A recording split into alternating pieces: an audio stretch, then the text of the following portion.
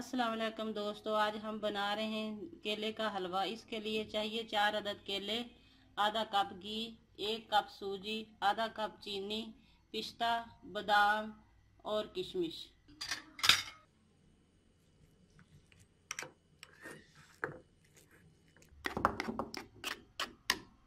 सबसे पहले पैन में घी डालें।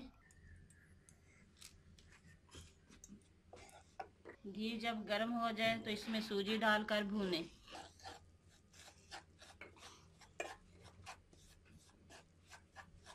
पाँच मिनट मैंने सूजी भून ली है। अब केले का मिक्सर डाल दें।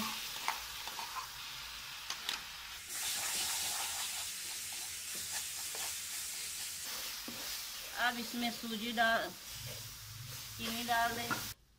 पाँच मिनट सूजी को और केले को मैंने भून लिया है। अब पिस्ता, बादाम, किशमिश डाल दें।